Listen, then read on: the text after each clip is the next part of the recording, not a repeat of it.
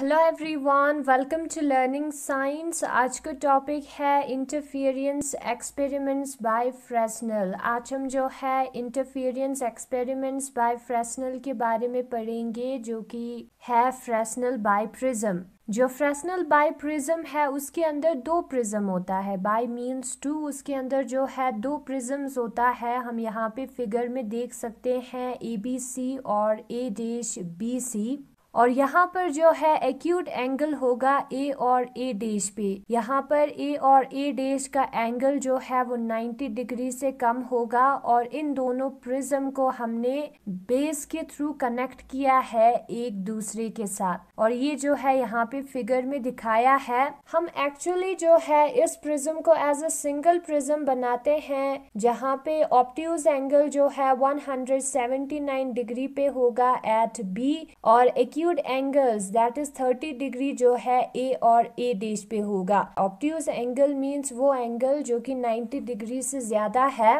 Fresnel biprism जो है, हम दो कोहीरियन सोर्सेस को ऑप्टेन करने के लिए यूज़ करते हैं और ये जो बाई प्रिज्म है, उसको हम अप राइट ऊपर की तरफ़ देख के रखते हैं एक ऑप्टिकल बेंच पे। तो उसका जो रिफ्रैक्टिंग एच बी है, वो पैरेलल होगा सोर्स ऑफ़ लाइट एस से और वो जो है यहाँ पे फिगर में दिखाया है। फिगर टू में दिखाया है।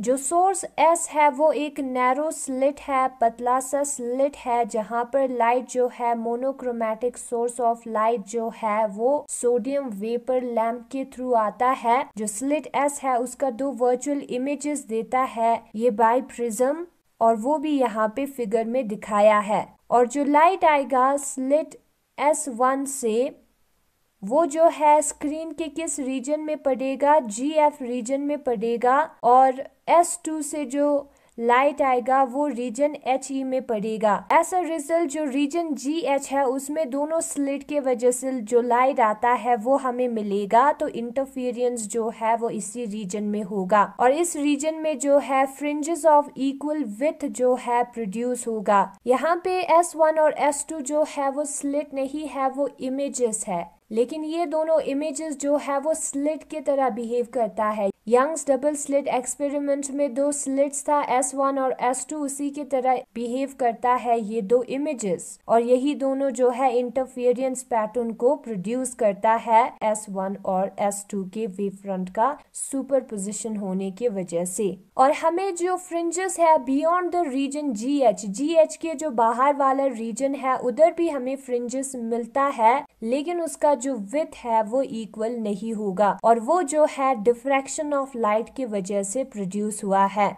हम यहाँ पे एम और एम डे स्टॉप का यूज़ करते हैं ताकि जो लाइट रे है वो क्या हो जाए, उस पर लिमिट लग जाए, वो उसके बाहर ना जाए, ठीक है? और एक आई पीस भी हमने रखा है जो कि मोशन कर सकता है स्केल पे और ये हम जो है इंटरफेरेंस पैटर्न को स्टडी करने के लिए यूज़ करते हैं। और ये जो स्केल है हम विथ ऑफ़ इंटरफेरेंस फ्रिंजेस जो इंटरफेरेंस फ्रिंजेस है, उसके विथ को मेजर करने के लिए यूज़ करते हैं। तो यहाँ पे थ्योरी दिया है जो सेंट्रल मैक्सिमम है वो कहाँ पे लोकेट होगा ओ पे लोकेट होगा और वो जो है उस लाइन पे लाई करेगा जो कि हमने एस से ड्रॉ किया है और वो लाइन जो है वो परपेंडिकुलर होगा surface A C A dash of the biprism जो बाई प्रिज्म का surface A C A dash है उससे परपेंडिकुलर होगा। और इविडेंटली जो ओ है, वो इक्वी डिस्टेंट पे होगा और सिमेट्रिकली प्लेस्ड होगा एस वन और एस टू के